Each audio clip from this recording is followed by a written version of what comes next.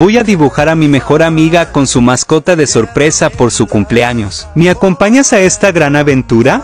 Ella es muy importante para mí y quiero sorprenderla porque ama como dibujo. Le compré el marco y luego estoy pintando con cositos que brillan porque a ella le gustan.